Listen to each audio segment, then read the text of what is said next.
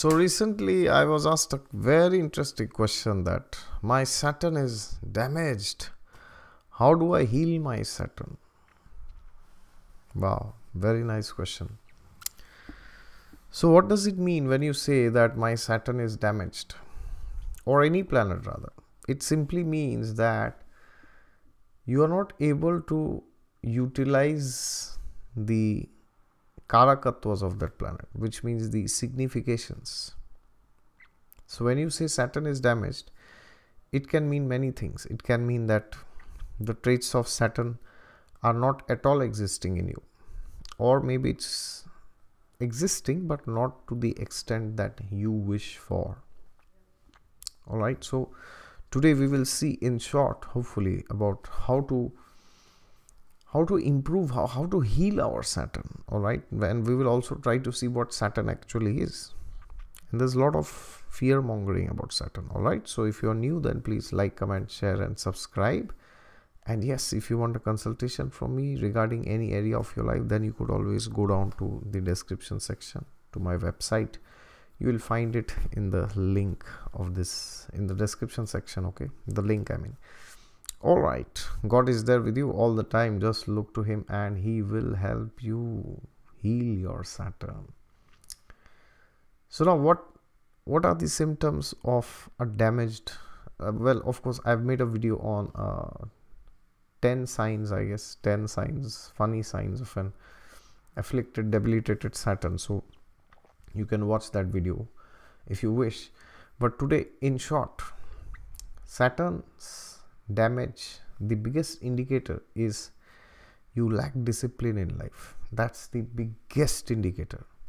All right and yes there are some strong things which i will say my disclaimer.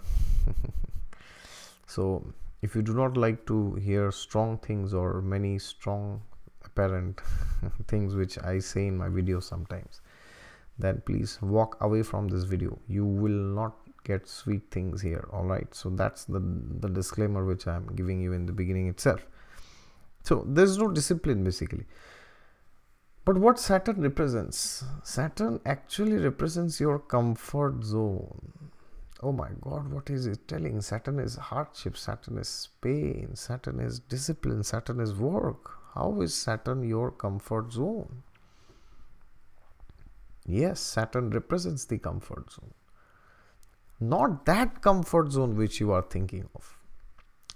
Saturn represents those things which you take shelter when you want to run away from things in life. I'm talking of that comfort zone. I'm not talking of places like home or family or you know mother, father, husband, wife where people go and take some good shelter, you know, okay. I'm back from the office now I can relax. or meeting friends you know i'm not talking of that shelter. But when you are defeated by something external or internal your inability to cope up with that when you see yourself being not i won't say competent but not able to handle failure what do you do that time? That's what Saturn is. That is why Saturn is the karaka for procrastination. Why? Because procrastination means what? Procrastination simply means you are not enough motivated to improve your life. That's that's what procrastination is. Nothing more than that. So what do you do? Ask yourself, what what do you do when you know that you should do something but still you are not doing it? It could be anything in areas of your health, career, relationships, money, finances, love life, spiritual life, my God. Irrespective of that. What do you do that time? So when you come from the office and suppose you have some issue in the office so what do you do after coming from the office? Write it down in the comments. Are you just trying to forget it by seeing something in the TV? Yes, television? Are you just trying to see uh, things in YouTube, you know? Game of Thrones, or you know, you are just seeing things like you know, Crime Patrol, Savdhan India, yes, or Bollywood movies, you know, or maybe you are watching pornography or any such uh, adult material. Or in worst case maybe you are visiting prostitutes yes. You're wasting your human life for such petty things. Does that sound like somebody? Is that you or you are the other way around why? Entertainment. We will go to the pub you know we will dance yeah. Dinka chika dinka chika. So these are ways by which you are going in that dreaded comfort zone. That's all what Saturn is. Have you ever thought why it represents hardships? Everybody says, you know, Saturn is bad, it's terrible, it's the worst malefic. It's correct. The amount of suffering which Saturn can give, even Rahu cannot give you that. In fact, Rahu gives you obsession, but after Rahu comes Saturn. But have you asked why? Why, why, why? Because you have been going to the wrong places for shelter. And that is where the things pile up. As in Hindi they say, na, in Sanskrit, you know, pap ka ghada bhar gaya. That is why Saturn shows suffering because when you give suffering to somebody or when you give suffering to yourself by doing all these things then the repercussions are very high and that's what saturn represents all right so how to heal your saturn well it's very simple now if i say this you will say oh it's easier said than done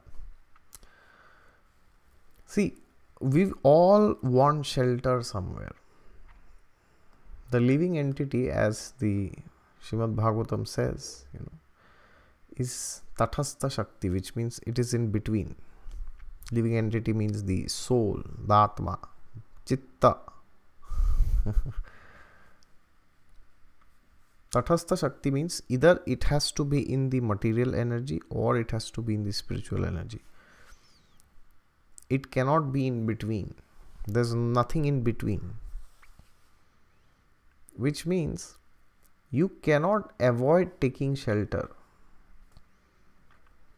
You will either take shelter in filthy, disgusting material uh, habits which denigrate your life, which denigrate your consciousness, which ruin your family life, which ruin your career. Have you seen people drinking and beating their spouse? I've seen that. Why? because that's their comfort zone you know oh i feel good when i do that it is good for me or not that's not the question the question is how do i feel i feel a great sense of comfort in that that is why i keep doing it. Even if i know that will damage me that will ruin my entire life. Like recently one of my friend he called me and said you know that one of our school friends his age is how much? Maybe 27 28 or maybe 29 or maybe 26 around that age. He is battling with cancer now and he is in the last stage final stage of cancer. And he's not going to live much more. And maybe now i'm publishing this video. If somebody is watching this video now now is you know end of june 2019 maybe somebody watches this video after 10 years june uh, 2000 you know 29 maybe that person is not there anymore and now he's busy collecting you know funds you know all of us we have given updates in all places well the point here is why this happened because he was heavily into drinking. That's the reason. So, what is the ultimate solution? The ultimate solution is not that you stop drinking, which you eventually have to do, all, of course, without any doubt. But you cannot just artificially not drink and you know just do nothing and sit. That's not possible. You have to find shelter in a right place because I said the living entity is Tathastha Shakti. It is either in the spirit or it is in matter it cannot be in between so please do not artificially pretend that you know oh i uh, i am not into all these things you know i am above all this no it's not like that so we have to find shelter in things which elevate our consciousness. Then that same shelter, that same comfort zone will take us way beyond our capacities and our capabilities and our strengths because then we will get divine empowerment. And where do we find that shelter? That shelter we have to find in God and doing spiritual activities. That's the only way you can heal your Saturn otherwise you will continue to seek shelter in all these frivolous things as lord krishna says in the gita these pleasures have a beginning and an end nate shuramate buddha then you will see that your career is improved then you will see your family life has improved your married life has improved your relationship with your parents your relationship with your son your daughter with your cousins, with your friends, with your colleagues. Husband, wife, they have these relationships have improved. Otherwise, if we continue to seek shelter in the material things which which is beyond the range of the scriptures, then we will very soon realize that we have lost the battle. The game of life is lost. So, what to do? Well, it's very simple. Just do spiritual activities. Find shelter in spiritual activities. Find shelter in spiritual people.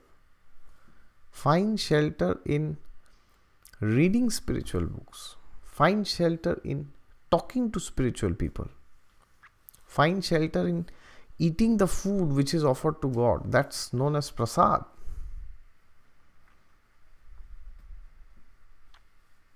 Find shelter in sharing spiritual wisdom with others. Imagine if you start finding shelter in these things. Where will you be? I mean, you cannot even understand now maybe where you will be. And when I say where you will be, it doesn't mean that you know you will become some yogi or something. You know, you, you will just disappear. No, no, it's not like that you will stay as a normal person in this world and be so happy normal means you will have a job you will have a family you will have children normal we are not talking of leaving everything and going to the forest. We are not talking of that. All right? So when we start finding shelter then you will realize that now you have the same comfort zone but it's a divine comfort zone. It's not a comfort zone anymore. It's a delight zone.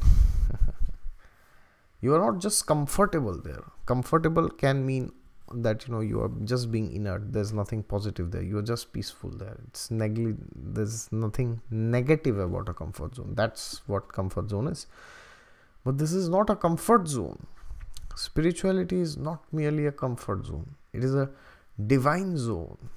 It's divinity. That's what the word is spiritual. One who is in contact with the spirit. And who is that spirit? You don't have to uh, make things so complicated. Lord Krishna says in the Gita, Ishvara Sarva Bhutanam Hriddeshe Arjuna Tishtati. I am situated in everybody's heart.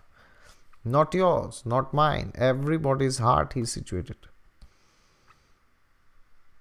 So, irrespective of anything you're married, you have a job, you have a business, you are a Hindu, you are a Christian or a Muslim. Always remember that God is there in your heart. So, if we do activities by which we can transform our consciousness and find shelter in Him, and we have the greatest of the greatest examples from the scriptures I can give examples from the contemporary scenario also, but you will not know those people. So you might feel that, oh, about whom is he talking? But let's talk from the scriptures about characters who you might have heard. Yes. Let's take the example of uh, Srimad Bhagavatam, the first, you know, five cantos.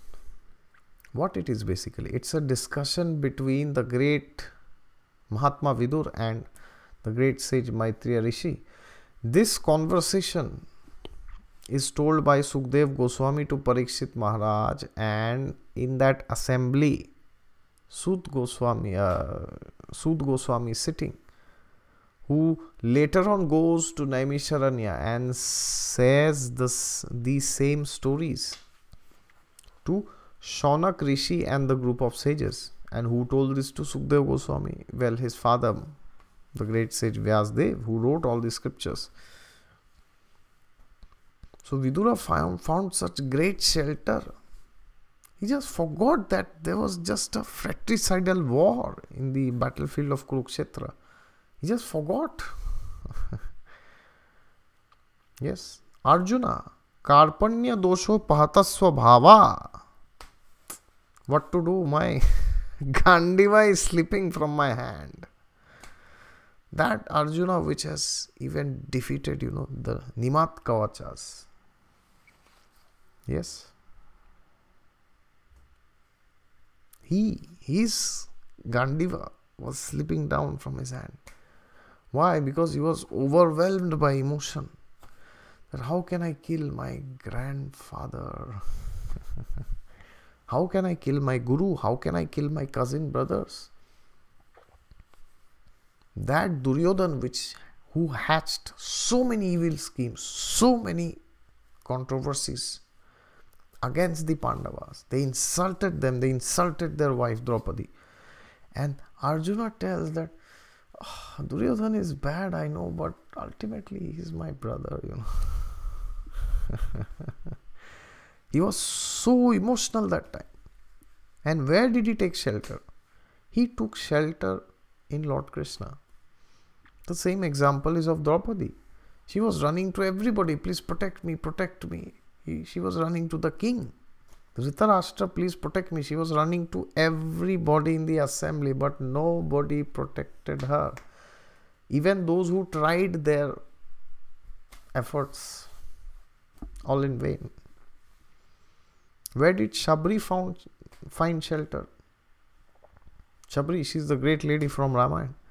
She found the shelter in the great sage Matang Rishi and his disciples. And when Matang Rishi went back to the spiritual world, he told her that you will have a special service to do. You will have to wait till Lord Ram and Lakshman comes here in search of Sita Devi. Yes. And then finally that day came when Shabri saw Lord Ram and Lakshman. Interesting. Everybody, all the characters, all the divine characters. We have the example of Yudhishthir Maharaj, how he found great shelter in Lord Krishna. Such amazing conversations between Bhishma Pitama and Yudhishthir Maharaj, two of the greatest personalities in the Mahabharata, apart from Lord Krishna, of course. We have the example of Prahlad Maharaj, who found such great shelter in Lord Narsimhadev. Now, can you imagine for him, just for this five year old boy, just this five year old boy, Lord Vishnu took an incarnation and he came out of the pillar, my God. And he came as a half man and a half lion and he ripped apart the intestines of Hiranyakashipu. So Prahlad found such great shelter in Lord Narsingadev. So that's not a comfort zone, it's a divine zone actually. So if we can also take shelter in this divine zone, or you could call it comfort zone, whichever you like, then our lives will also become like these divine personalities to to the extent that we can. Of course, we cannot be like them. But there's a saying, you know, Mahajano gata yena gata sapanta which means we should try to follow in the footsteps of the Mahajans, not to, we should not try to imitate them. All right, so following the footsteps means at our level, whatever is possible, we try to do that. And then, irrespective of your circumstances, your upbringing, your surroundings, or externals, you're a man or a woman, you're a child, you are a grown up, you are old, doesn't matter whoever you are. You are from india you are from britain you are from united states you are from jerusalem you are from banaras you are from kanchipuram it doesn't matter. You will all get the same benefit which though these personalities got. If they can get we can also get. All right? God's grace is not only for the people who are sitting in the scriptures, it's not for them only. it's for you, me, and everybody else. All right, so let us delve and delight in this divine spiritual wisdom. By that, we will realize that life can also be beautiful, not just good. Have you seen people when they ask, How are you? They'll say, Oh, I am good good doesn't mean necessarily they are saying that oh there's so much good things in my life but good simply means that oh there's nothing terrible in my life you know. Even if they are unhappy they are miserable but you know at least maybe they have some job you know they have a they have a decent relationship with their husband or wife then they say you know oh, life is good. That's not a good life. That's a miserable wastage of your potential so please do not waste your human potential. Human life is very, very, very precious. And in the fifth canto, Rishabh Dev, who is one of the avatars of Lord Vishnu, he says to the most esteemed of his sons, Bharat Maharaj, after whom India is named, Bharata, the word. Bharata is what? The land of Bhaskara. Bha is Bhaskara. Bhaskara is the light divine light. India is the land of light, divinity, spiritual wisdom. he says to Bharat Maharaj, Tapo divyam putra kayena satvam. Wow. Have you read that part? No. Just read it now. It's there in the fifth canto of the Shrimad Bhagavatam, alright? Go there straight and read. So he says that do some tapasya, tapo divyam. Tapasya is divyam, it's divine. Putra kayena sattvam, my dear son. it will take you to the highest level of sattva. And that person's personality is so extraordinary that after him the entire holy land of India is named. Bharat Maharaj, can you believe it? Yes, of course. Lord Ram also has a brother, Bharat Maharaj yes we all know. So there are many bharats but the essence is important. It's not important after who india is named. The point here is why is he so great? Because he followed the instructions given by his authorities his father especially rishabdev okay?